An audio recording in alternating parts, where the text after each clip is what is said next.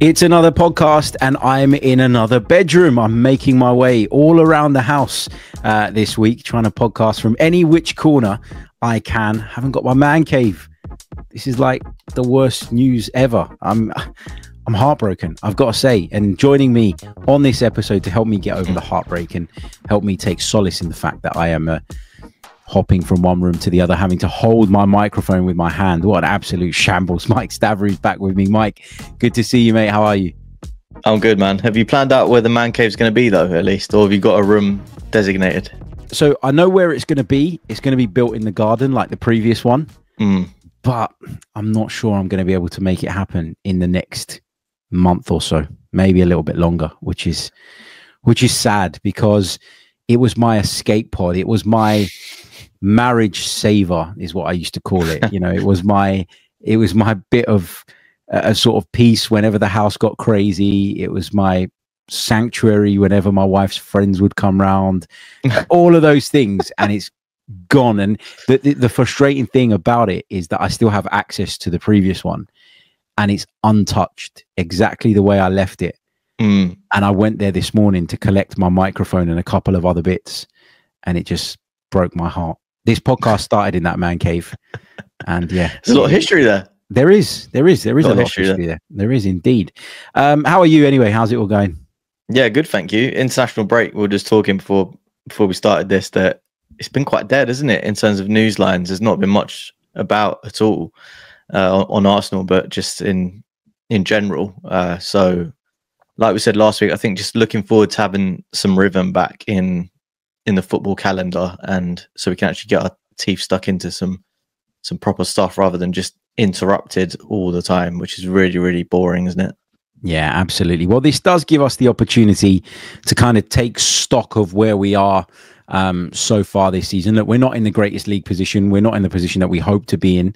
Uh, you know, coming out of the back of this you know this November international break. We wanted to be a lot closer to the top, if not top of the pile ourselves. That hasn't really uh, worked out the way that we wanted it to, but I think there's a lot of hope and optimism that we can get back on the right track post this international break, put a bit of a run together, and drag ourselves back into the title race. Fingers crossed. But I thought it'd be a good time to take stock of where we are so far, and I don't want to do one of those season review so far things where we go through every single game because I think we can both agree that there have been some really difficult circumstances for us to navigate as a team throughout this opening period of the season. Red cards, suspensions as a result, an unprecedented amount of injuries in comparison to you know what we experienced last season. So what I thought would be a better idea this time was to go through some of the players. Now, what we've done is we've only picked players for this that have made five appearances for the Arsenal this season or more. Because if it's less than that, I don't think that you should be getting a rating. But we're going to rate our players out of 10.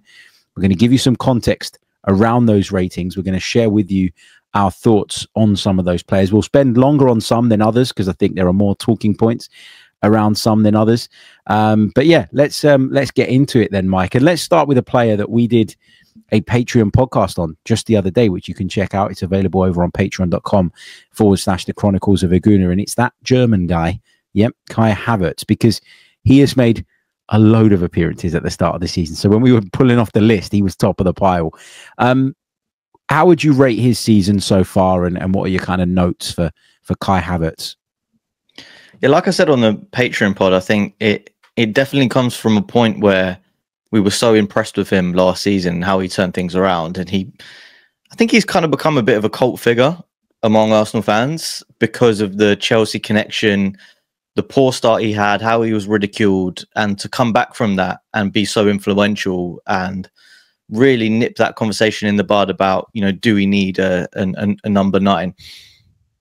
Really, you know, shut that down essentially uh, when that was the the narrative of of last season before he kicked into gear. Um, so I think with that sort of background, I think we've been slightly disappointed with his start this season. Obviously, there there are factors to that. We've spoken about it before in previous pods. The Odegaard's injury forced us to play a slightly different way in more of a 4-4-2 or 4-2-4 with um, him and Trossard playing a sort of dual striker role in a way and, and interchanging a lot. So there are, you know, circumstances to it. Um, but and I think we, this is another thing we mentioned when we talk about Havertz. We need to talk about the fact that we've not been able to give him a break at all. Um, he started 15 out of 17 matches, which is pretty crazy. I, I think you'd, you'd, agree with that. And you know, 1,423 minutes, which is a lot of football, really. Um, I think that's the most of, of any player this season. Which, if you think about the sort of core of players of last season, the ones who played, you know, most league games, if if not everyone, it was Saliba, Gabriel, Ben White, um, the season before, particularly with Ben White, not so much last season. If you think about a forward playing that that many minutes, it just shows you how reliant you are on him. So overall, I think I've been slightly disappointed compared to the the heights of last season. Um, I think particularly the last three or four games, he's you you could see his fatigue. You can see that when he's putting himself about, it's with not quite as much gumption as it as it has been before. And in terms of his goals, you know, seven goals in in 17 uh, games is not a bad record really for for someone who we don't consider as a sort of traditional goal scorer. So yeah, overall I've given him a seven, which I think is is solid. It's good. It's it's on the better end. There's definitely some lower ratings here, um, and he's been one of our more consistent performers. Maybe not the the best though. I would say. I think we're going to agree on this one. There will be some, I'm sure, that we disagree on, but I'm I'm with you. I've given him a seven as well, and I think all of that context is so important with regards to the discussion of Kai Havertz. And uh, you know, I I give him a seven with a kind of asterisk next to it, as if to say, I know it's not all on you, which I can't say with some of the other ratings that I'm going to be dishing out during this episode. I think there are a few players that have underwhelmed and uh, deserve to have those lower ratings. I think with Kai Havertz, seven is about the minimum of what I'd accept from him based on what we know of him.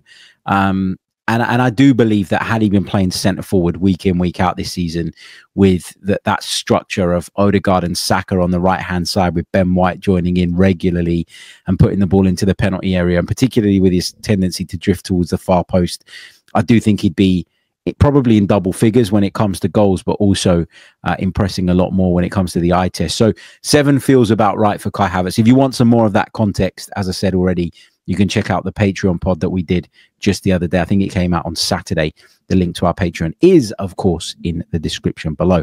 Right, let's move on to another player. Let's talk David Raya. I'll start with this one, Mike. I've been super impressed with him this season. When we first signed him, there were question marks for obvious reasons. The Aaron Ramsdale discussion, just kept rumbling on and on and on and on. And it feels like with Aaron Ramsdale having left the club, it's kind of taken the weight off of Raya's shoulders and allowed him to play with a bit more freedom, with a bit more confidence. He's super confident when coming and claiming crosses, but I think we've seen an increased confidence even with the ball at his feet as well. I think he's been one of, if not Arsenal's best performer this season. When you sort of look at the metrics and you, you, you know, you look at maybe the journey they've been on as well, where he's come from and where he is today. I'm going to give David Raya a nine. Wow, that's uh, I, I, we should say how we are we sort of rating it as you know ten is perfect, nine is incredible, and five is average. Or are we saying like six is average? What what's well, your sort of thoughts? Given their fogging standards at this club, guys, I want to my like a seven is is a standard for me. Seven like, standard, okay. Well, se- yeah. If you're below a seven, what are you doing? Yeah, it's not good enough. You know, we want to win the league title. got quite a few below seven, so I've got a few too. I've got a few too. But Raya gets a nine for me because yeah. I would go, I would pretty much say that he's been flawless. Like I'm trying to think now if he's had mm. any hairy moments. I think when you play the way that David Raya is asked to play, you'll always get those hairy moments where you try a, an overcomplicated pass or you dwell on the ball a little bit too long. I think even those he, he seems to have cut them down to a minimum. So nine for me feels like the the right rating.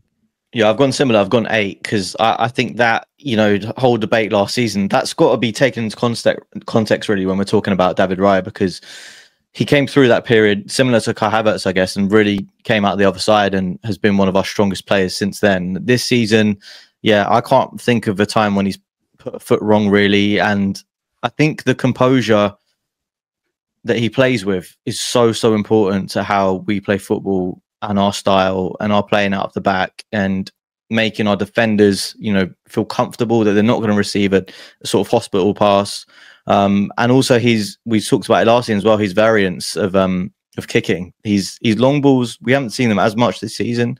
We've been slightly less direct, I think. Um, but even you know he switches out from from goalkeeper to right back if you you know you want to relieve some pressure and play over teams who, who press you high. It's just it's just unbelievable, and I think he's you know one of the the best with his feet in the league. Uh, you know, definitely very close to Ederson and, and Alisson. I would say who who I'd put at the top.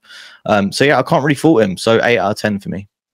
There was a clip going around of this outrageous pass that he played for Spain the other night as well, and that's another thing, right? In in Unai Simon picking up this injury that he has at international level, it's opened the door for David Raya, and I'd be very surprised if he doesn't hold on to that number one spot moving forward. Uh, let's talk Big Gabby uh, at the back. Love the player. I think he's fantastic. Um, where have you got him on your kind of uh, scale of ratings? So I've given him a seven, which hmm. like now feels harsh given what what you've said about sevens, but I think it's about right because I think when we talk about defenders and centre backs, we talk about partnerships. And I just feel like the last few weeks in particular, that partnership has been strained a little bit.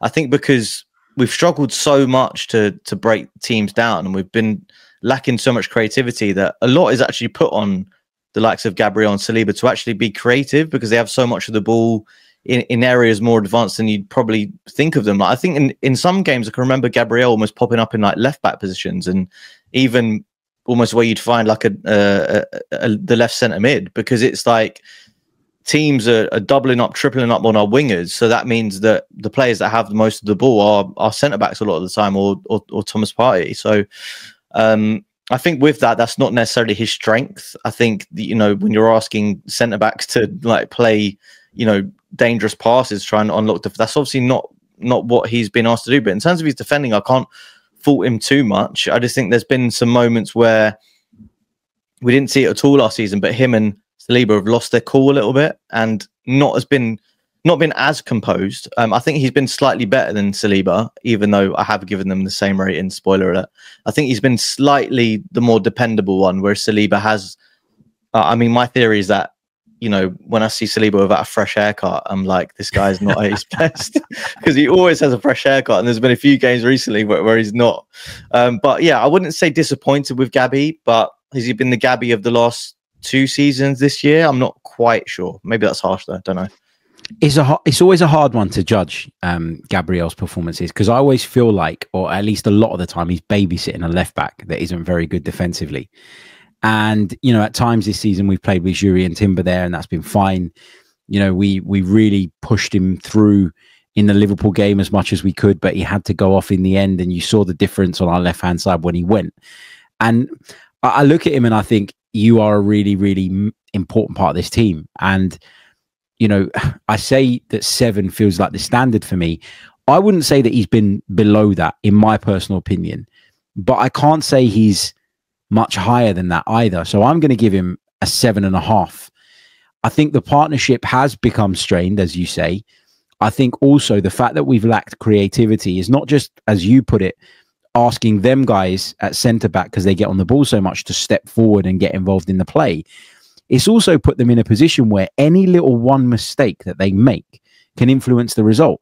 Because if you're not scoring goals, the margins at the back are so small and you can end up turning up at a place like Newcastle, for example, where we conceded one goal, didn't create pretty much anything, and everybody came away talking about that, obviously, but also pointing the finger at William Saliba and Gabriel for not being as solid as they could have been. And I look back at that goal over and over again the cross from Gordon, the header from Isak. It's the perfect cross and perfect finish. Like, there's nothing they could do about that. And I feel like maybe our view of Gabriel and maybe Saliba, who we're going to come on to, I'll, I'll slot him in there next so that the conversation can continue. But it feels like with those two, yet they're not quite where they were last season in the second half of last season, but they're also not a million miles off it. Saliba, you've given him the same rating. What, what do you want to say about him? Yeah, I think you're look, you're completely right, and I think because the the standards have been so high the last few seasons, we're ultra critical, and because we have dropped off I think you automatically look and you know judge players' performances in a slightly different way. And any little mistake they make, it's like, oh, okay, that's unusual. I'm not used to seeing that. So when I say Saliba has been frazzled. You know, he's still one of the most composed defenders in the league, but when you see him, you know, slightly misjudging things, uh, loose balls, he's not quite getting to.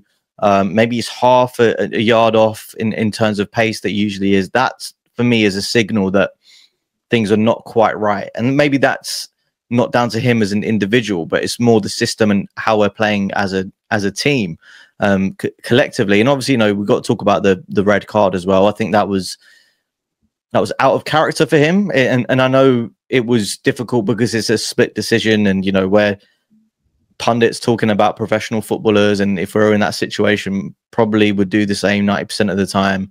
Um, and it's hard to criticize him for that, but ultimately that was costly. And, and I think if you're comparing him and Gabriel, I think that's when I'm going to give Saliba a 6.5 because I think you know he's been fine. He's been he's been good. Has he been as good as the last few seasons? I don't think so. And, and i think that mistake probably is the difference between the six and the five and the seven between him and gabriel.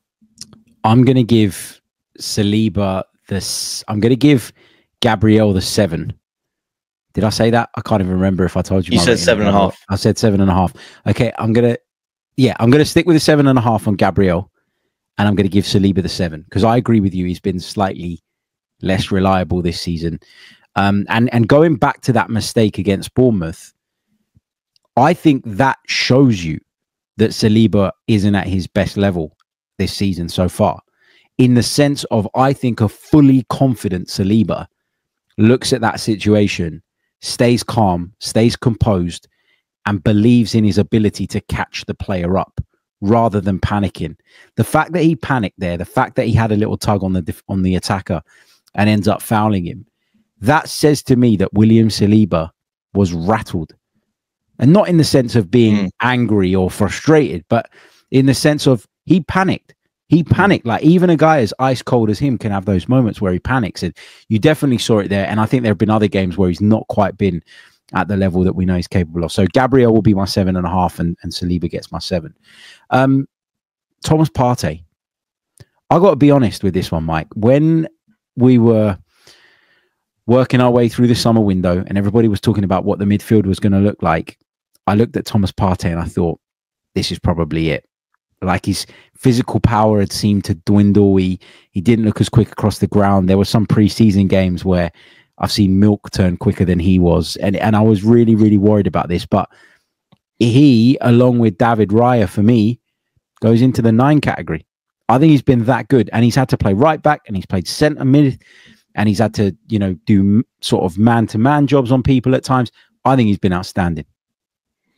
I agree with you. And going back to that conversation in the summer, I think a lot of us wrote him off already. Uh, we were looking at his injury record, uh, how many games he's missed, uh, his age as well, 31 years old, you know, contracts, contract situation. And we were kind of thinking, you know, this is, he's, he's being, you know, he's going to be replaced by Mikel Merino. I think that's what we all thought was, was going to happen. But, you know, look at the numbers and he's started 15 out of 16 games across all competitions, 1,317 minutes. I mean, that is a lot of football for, you know, any midfielder really in this, in this team uh, let alone someone that we thought was not going to play this much whatsoever. Um, and I spoke about progressive passes uh, last week, and I think that's quite important because we were talking about lack of creativity and lack of you know ability to, to break teams down, and he's got the the highest um, number in the of, of, the midfielders and of the of the squad actually with uh, 81 in the uh,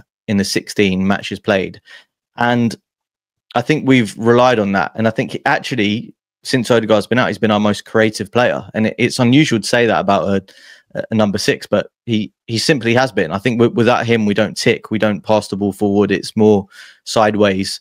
Um, so yeah, he's been a really really important player, uh, surprisingly so. So I've given him an eight out of ten. Okay, he gets a nine from me. So Raya and Partey are my two top performers so far. Yours are Raya and Partey from from yep, what you've so far. so far? Cool.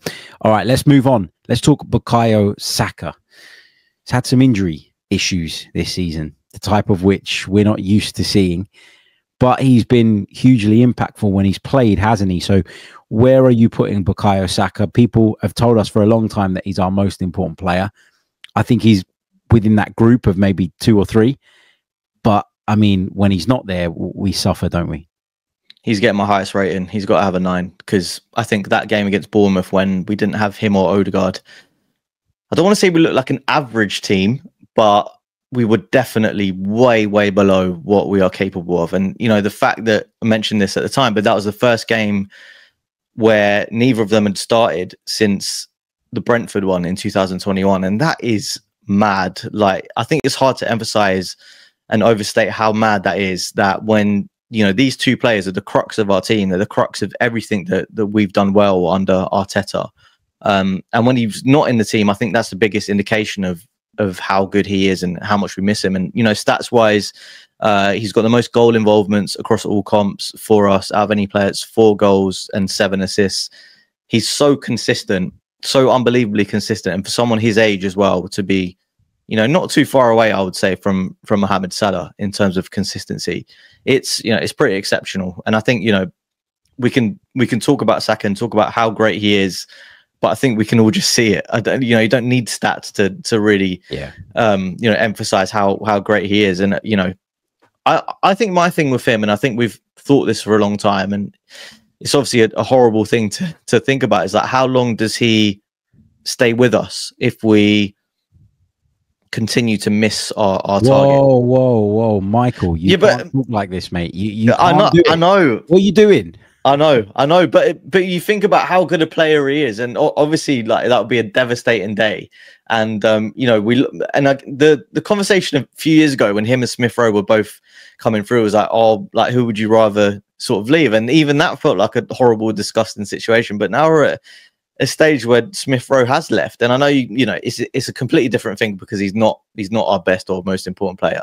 Um, but it should really be something for to kick us into gear and say, look, we need to make the most of this guy. We need to, you know, will there be a better feeling for any Arsenal fan than seeing one of our own um, lifting that Premier League trophy um, so, and so saying, what, you know, what do you think? What, what do you think then? Sorry to cut across you. What do you think yeah, the on, minimum yeah. is? What's the minimum that Arsenal have to do to keep Bukayo Saka? Because I think we've got some things working in our favor here. The fact that he is homegrown, the fact that he's an Arsenal man, all of that stuff. I know people sometimes want to dismiss that. And yeah, I don't think it's the be all and end all. I think you can fall in love with a player from Timbuktu. You can, you know, you can fall out of love with a player from from down the road. Like it happens. But I feel like while we're competing for the major trophies, he'll be fine. I, I just worry that if we fall away, like for example, the way this season's shaping up at the minute, we're in the title race. Well, I don't think we are now, but I think we are capable of getting ourselves back into it by putting a run together. But if we got to the point where even that felt beyond us and completely mm. impossible as such, mm. then I think you start to worry. But I think while you're in the the conversation, think you can kind of just go, well, you know, there's next year and he's going to feel like there's something to, to play for and something to challenge for. I mean, I can't see him joining Manchester City. Can't see him joining Liverpool. Does he go abroad? Like, I, I don't, I'm not really worried about it right now.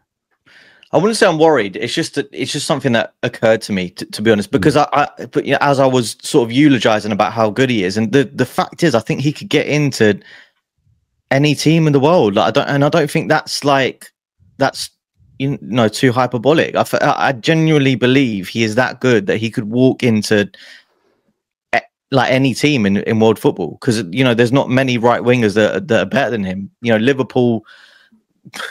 just I don't want to put this out there, but I'm just saying, you know, if Mo Salah leaves when his contract expires, you know, he is the the best player that they could get. So I'm not saying that I think he will, but I worry that if we don't meet his expectations, which he must have by now because we've challenged for the title two years in a row, then he will probably be thinking, you know, what's going on. Uh, and I would say, look, if we, uh, and again, I don't want to put this into the into the ether, but if we, but you're going to do it anyway. but if we say the way what happened, you know, what, what you said did happen, and we dropped off to the extent where we were challenging for the top four rather than the title, I think you know he would have every right to say, you know, what direction are, are, we heading in? And that's not to say that he would leave. It's just to say that there might be a thought that pops into his head and, and thinks, you know, I've given so much to this club, I've given so yeah. much to this team. What's next? And that's probably how a lot of players feel. But obviously, we don't like to talk about it because it's very sad. Um, but but look, like going back to the positive part, I just think he's so great, and I want to see him you know, I want to see his hard work and his consistency rewarded with something. If that's an FA Cup, um, I think that would be enough. I think him, you know, having that feeling of lifting silverware would be will, will be plenty, uh, given that it's been so long since the last one. Okay, you've given him a nine. Anyway, I'm going to give him an eight. No, no, no. You, are absolutely right. I just, I just don't want to talk about it. It's like you know, I know, I know, I know, It's like you know when you've got that friend when you're a kid and you're growing up and you're like, oh, but he's quite cool and we have a good laugh and all of that, and your mum's telling you like he's a bad influence. Stay away from him. And deep down, you know it, but you don't really want to have that conversation. That's how I feel right now with this Saka potentially. If I ever see Saka in a Liverpool shirt, I'm blaming you. I'm coming back for you. Um, right. Uh, okay. So Saka's done brilliantly as he always does. Let's move on to Jurrien Timber. I'll start with this one. I've given him a seven seven point five, and I think I want to give him more because I think whenever he's played, I've looked at him and been, oh, you know, like you know, he's, he's quite good. You know, he we were missing this player all of last season, and my God, what might have we achieved if he was fit and he was available to help us in those difficult moments? And I, I'm just a little bit confused about the Timber situation, if I'm being completely honest here, right? Because we signed a centre back from Ajax. Now, it might have always been Arsenal's intention to use him as a right back, but we've also seen him play as a left back. And I just don't really know what the plan is for Jurrien Timber. I don't know if he was brought in as this like Swiss Army knife that can play in all these different positions, and that was the charm. That was what it was that that we bought into. That we felt made him a really good fit for us.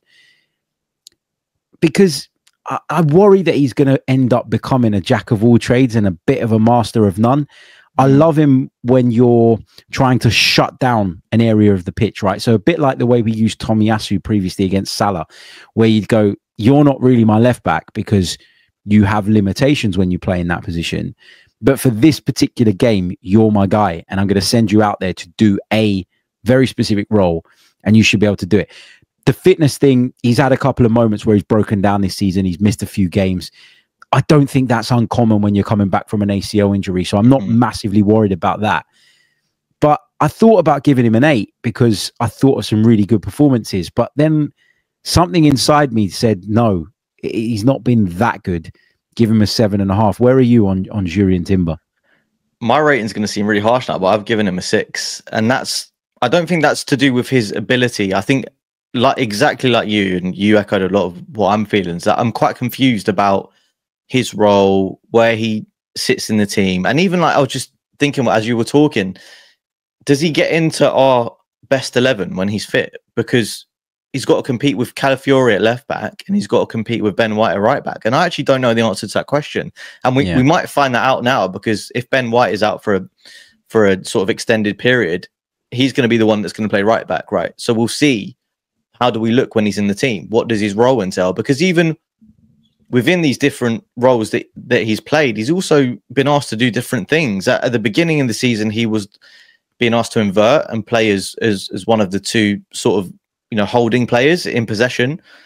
But recently, we've not been doing that as much. And when he's been playing left back, he's been asked to be more a bit more of a traditional left back, which I don't really think is his strength because a right-footed left back for me always looks a bit strange and it always gives you slightly less options because you don't have that option to go down the outside and you're always yeah. going to be crossing with your with your weaker foot so for me it's less about him and i think he has been good i think he's he what he gives you is that 100% commitment and effort and something that we all like to see and he pairs that really nicely with defensive work plus on the ball uh, skills, and I think that is quite rare. And he is a bit of a jack of all trades.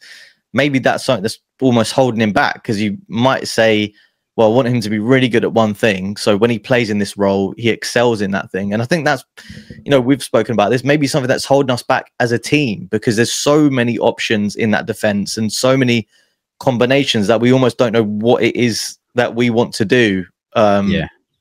So yeah, less about him, more about where he's been used. But I think this period now is going to be really important to see if he can establish himself in the team. Because at one point it looked like he might start at right back ahead of Ben White, but now he's going to be playing there. We'll see what happens. I, I do think, like, before we move on from Timber, I, I do think that the fact that Arsenal have kind of given Ben White the go ahead to have this minor operation. Now, I know you do get to a point with these things sometimes where you can't delay it anymore and it's just got to happen, right? And I'd imagine that we're at that point with Ben White because we know in the past that he's been able to play through injury, play through the pain barrier, etc., etc. But I do think that what Mikel Arteta's seen from Jurrien Timber has probably been so encouraging when he's played right back, especially that he's kind of gone, well, okay, let's get this over and done with. Let's protect Ben White. We don't need to take a risk with Ben White anymore because we've got this guy who can come in and can do that job mm. just as well. So mm. that's, I guess, the testament to Ben uh, to Jurrien Timber, I should say, in itself. What was your rating for Jurrien Timber? Mine seven and a half. Six. Six. Yeah. Okay. Interesting. Very harsh man you are. Mm. Uh, let's move on. Uh, just conscious of time. Ben White. I'm not going to say too much on Ben White because I think it's fair to say that his level has been slightly below what we've become accustomed to. But a bit like the Kai Havertz thing, uh, although the context is different in that this guy's got an injury problem and he's been carrying this injury problem for a while and it's so serious that we're putting him under the knife to deal with it. I think that I'm going to give Ben White a six and a half, but I'm giving him the six and a half reluctantly because I can kind of understand why he is where he is. What about you? Yeah, I'm at a similar place with Ben White. I think um, it, it does look like he's been impacted by playing pretty much two full seasons and, and not missing a game. And I think that added competition has maybe allowed Arteta to rest him a, a, bit more and not be so reliant on him because he knows that there's there's backups there. Not and ultimately, you know, talks about the drawbacks of having a lot of options in defence, but that is the huge, um, you know, that is a huge positive because previously, you know, in previous seasons, if if Ben White was out and Tomiyasu was out, we'd have to play Cedric at right back in some games. Yeah. So you know, the fact that that I know, I know that was recently. so the fact that that that Timber can come in now for Ben White is just you know that is a testament to the squad building and, and where it does flourish. But in terms of Ben White, and we said it last week, I think his role's changed, and I've not seen him being given the license to to push forward as much as he as he has. And obviously, a lot of that is to do with the the right triangle's not been there. Odegaard's been out. Um, you know, Saka missed it, missed a game as well. So, so I think that's not had the the time to formulate. And what Arteta's done is just go a bit more safety first with him and just say, look, we're not at full strength right now. We're committing maybe more players to the attack with Trossard being more hmm. advanced mm. than Odegaard would be. So just stay back a bit. Don't overlap as much as you usually do. So again, I don't think it's anything to do with him as such. I, th- I think it's more more tactical and, and system based. So I've given him a six because I think he's been similar level to to Timber. Leandro Trossard. I'll let you start with this one. Leandro Trossard.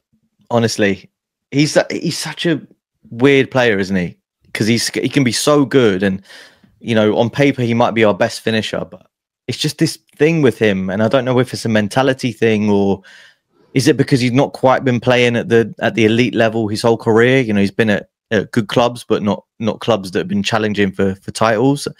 I just he lacks that consistency, and he lacks you know the ability to be able to produce. And again, he maybe uh, has not benefited from this change of of tactics and being played in different positions. But again, he is a versatile player. Um, but when I look at his output compared to last season, you know, two goals and one assist in 15 matches, 10 starts. For me, that's just not that's not where where I see him contributing to this team. I see him more as a sort of one in two type of player in terms of goals. So he's just been really disappointing, I think. And you know, part of that is down to how do you replace Odegaard? Like it's impossible. He doesn't have that same skill set, but also just down to his performances have not been at the level that I expect of him. So I've given him a five, which is might sound harsh, but you know, he's not been up to it this season for me. I've given him a four. This might be the only one where I've been harsher than you. Look, I I get it, okay? He's not a false nine. He isn't a second striker. He's been played there quite a bit as we've desperately searched for a solution to Martin Odegaard being absent. But aside from the positional stuff, he's just not offered anywhere near enough. His touch is heavy at times. His passing has been sloppy. He looks disinterested a lot of the time, and that really annoys me. And I know that there are some people, my wife would call it a resting bitch face, right? Where and and she will be the first to admit that she has it sometimes, right? Where she's sitting there, and I'll look over to her and I'll be like, "What's the matter?"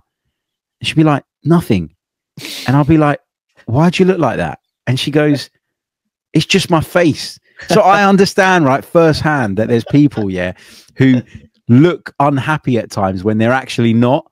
But mm. I, I think at this level of football, body language is so so important, and I'm just not seeing it from Leandro Trossard at the moment. We brought him into the club under some quite strange circumstances. Mikel Arteta, who booted out people for showing a bad attitude, has gone out and brought someone in who was booted out of Brighton because he didn't get on with the manager. And I, I, look at that and I've always had my doubts about Leandro Trossard for that reason. But if mm. we park that side of it and we talk solely about um, his performances, they've just not been good enough. He sold Saliba down the river when he got sent off at Bournemouth, and he's made a few other mistakes this season as well that I think have been not unforgivable, but that have really sort of contributed to my my rating of him. So I, I think Trossard, we we unanimously agree that he's mm. not been at the level. Let's talk a little bit about Ricardo Calafiori. Uh, we'll try and speed these up a little bit, just conscious of time, because there's a few players I don't think of the ones that we got left. That there isn't a great deal to say. Ricardo Calafiori, what have you made of of that signing so far? How would you rate his start? I've been really impressed. I really like him. I think he's, you know, he pairs that again like Timber that physicality with a with a technical prowess, which I think and we've spoken about this previously as well. You know, we have gone more towards the the physical profile of player and the big, you know, defender and the big central midfielders. Um, but I think when you can do both, that's that's ultimately what what you want and what Arteta ultimately wants. It looks like. Um, so I've been really impressed. Again, he's another player who's versatile. Um, but I think maybe we've not seen enough of him quite yet, and we've not seen him in a settled team. Um, so I want to I want to see more of him, and I'm intrigued to do so because I think he's got incredible mentality. Uh, that goal against City was obviously huge. Um, should have ended up being the goal that would that would help us onto a victory. Didn't quite work out that way, but I think maybe that would be he would be viewed slightly differently if he if that did result in a win. Um, but yeah, for me, he's got he's got all the tools to succeed again, the the obvious elephant in the room is is his injury history, um, and that is a concern because I think ultimately we've got a lot of defenders now in this team who have had serious injuries, um, have have played a lot of minutes and a lot of football, and you know if you look at him, Jurrien Timber with his ACL, and Takehiro Tomiyasu, that is slightly concerning for me. Um, if you're talking about fullbacks from a from a pool of players who you need to rely on throughout a season, so impressed with Calafiori, but I don't think I can judge him too much yet. So I've given him a bog standard six. Okay, I gave him a seven, um, but I agree with all of your reasoning, and I can accept the six as a as a fair rating. Again, I think it's we, we, what has he missed two stints now with injury? Mm. This one obviously a bit longer, mm. and yeah, it's it's very difficult to judge. I love what he brings the team going forward. I do worry about him a little bit defensively at times. But that's on the manager, in my opinion, to kind of rein him in a little bit if you think he's taking too many risks. I think back to his time in Italy, and I remember uh, there was a conversation uh, that I came across on X between two very knowledgeable people around Serie A. They were discussing whether Calafiori had what it takes to move up to that kind of next level. And one of those people made it, and I forget the name, so apologies, but he made the point that the issue is with Calafiori is that it's great when it works, but there are moments where he makes bad decisions and bad mm. calls. And in the very best leagues and in the very best competitions, he might get found out a little bit with that. So we're going to have to wait and see on him. Um, Gabriel Jesus, I don't think we need to spend much time on this. We've discussed him a lot in recent weeks. I've given him a four because I just think whenever he's had opportunities to start or to come off the bench, he's just not done a single thing for me that would give Mikel Arteta a decision to make when it comes to that centre forward position. I think the gap between him and Havertz just seems to increase week after week, and I don't know if there's a way back for him. So I'm going to give him a four. I'll give him a four for, for the exact same reasons. One goal in 15 appearances, five starts, and one assist is ultimately not good enough if you are trying to prove yourself as a player that can come in and, and challenge for a starting berth in this team. Um, and even more worrying than that, the performance level has not been there. Um, it's weird because he's got the desire. Like I don't ever look at him and you know you're talking about Trossard maybe looking like he's not bothered at times, but I never get that sense from Jesus. I just agreed. I just yeah, think there's something. I think there's something missing there, and and I, from my eyes, from an outside perspective, I think it's a confidence issue, and you know maybe uh, a, a, residual sort of effect of that of that injury that he had, um, and not quite being at his best. But it, it's surprising because it, you know we, we spoke about him in preseason and, and said you know he, he looks like he's back to his best, and for that not to happen is is quite disappointing. Yeah, agreed. Agreed. You're right about the desire point. I, I, was sort of at San Siro a couple of weeks ago, up in the gods, and that pitch looks absolutely huge from up there. But when he came on at half time, he was chasing everything. He was mm.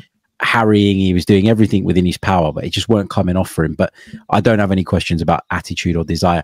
Let's do uh, Mikel Merino. I'm going to give him a six, Mike, and he would have got a five had he not come on and done quite well at Chelsea in our last game. Before that, I'd have given him a five because I hadn't been impressed one bit. I'm not saying that a half of football, or not even a half, however many minutes it was, should change your opinion on this. But I have been generally underwhelmed by the signing. I haven't felt that our midfield balance has been right without Martin Odegaard, full stop. And I think that's partly on the manager as well. But I'm going to give Mikel Merino a six. How have you assessed his uh, his first few months as a gunner?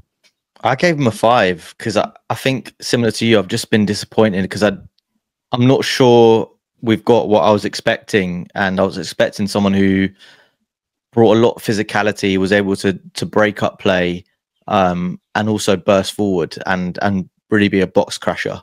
Um, and he's not done that really. You know, he's got the one goal against Liverpool, which was an important goal, but it was from a set piece. Um, and yeah, I've just not seen what I, what I thought I would see. So in that sense, I've I've been disappointed. Um, mm. Maybe maybe again, and you know, all the conversations come back to is this a tactical thing? Um, we know our Arteta system's complicated. It takes a, a, while to adjust to and and really you know get up to speed. Um, but I'm hoping to see more because I think we you know from the from the money we spent on him and and the profile that he has.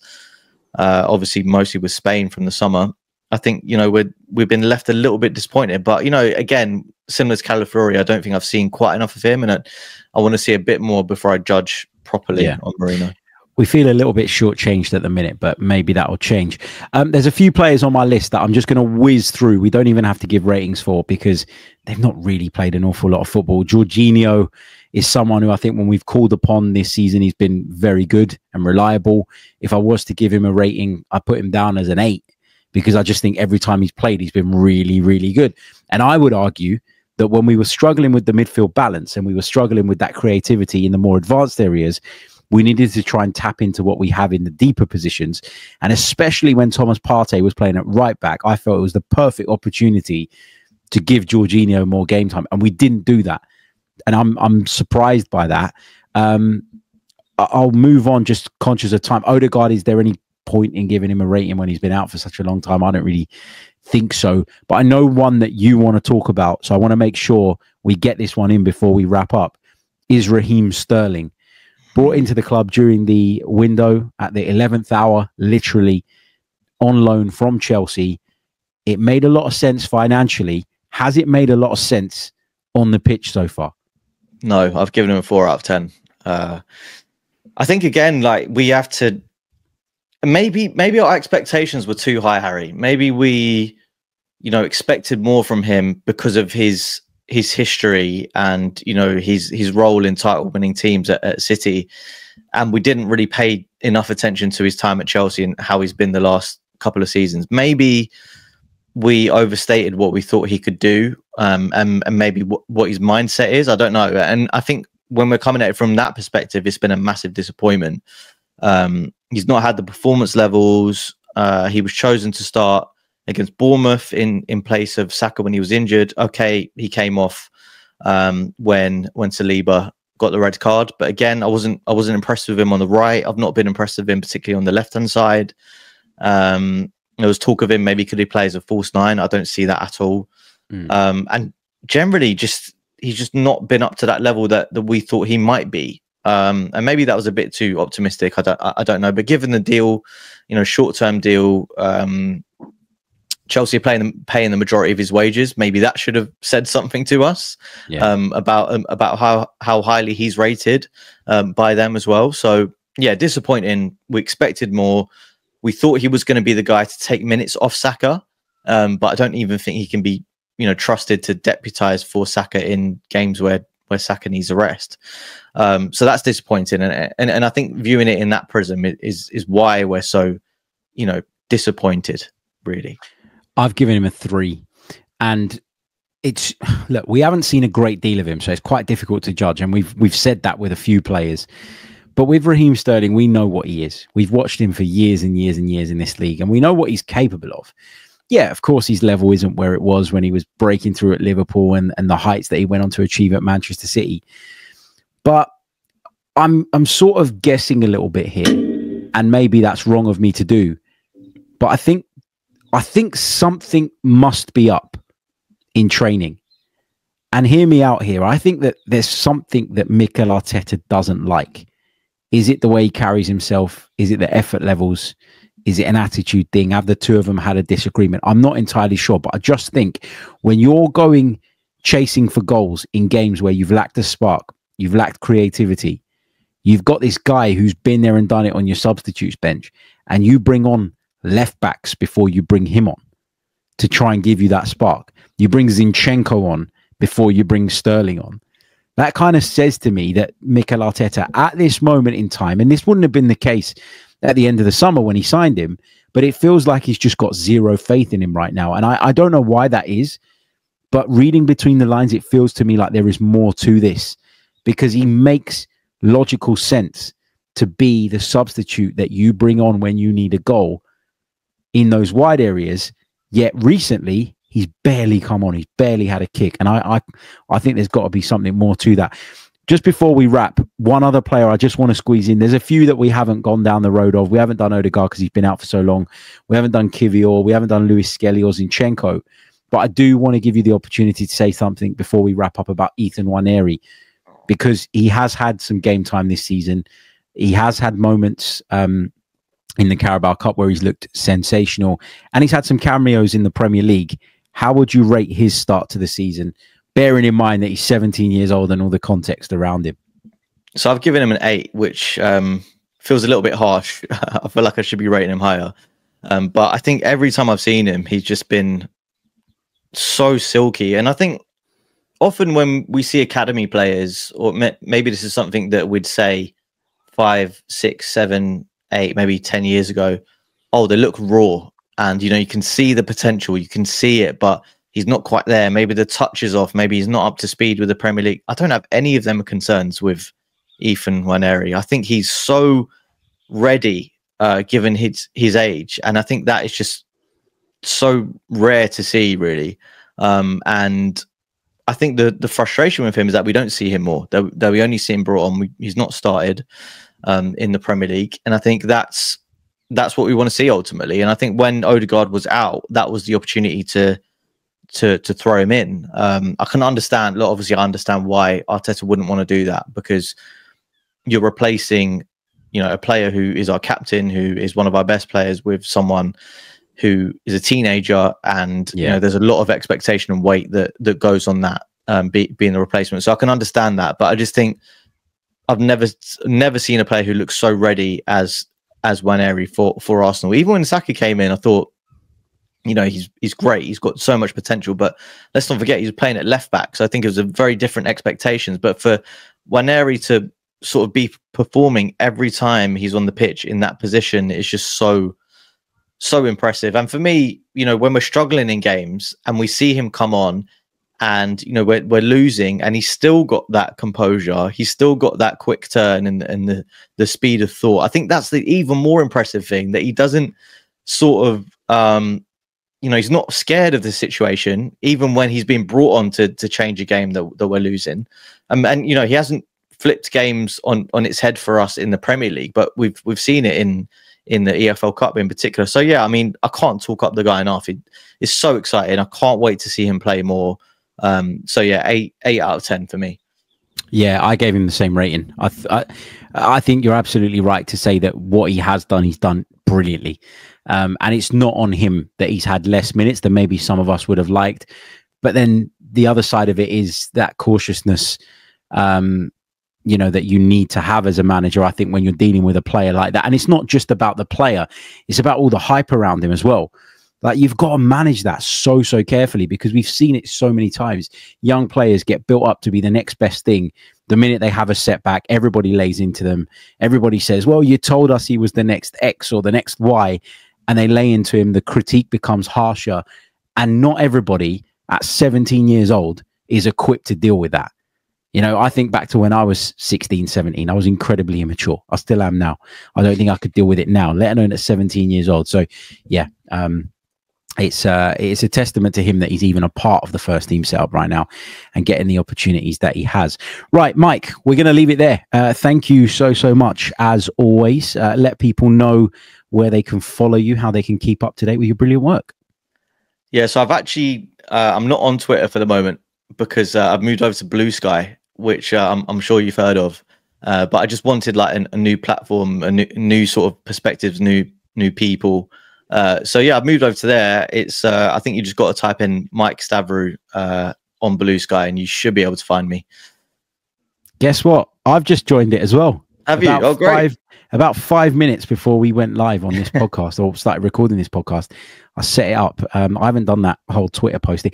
Would Elon Musk want you to be posting on Twitter that you're joining another platform? Will those tweets even work with the algorithm now?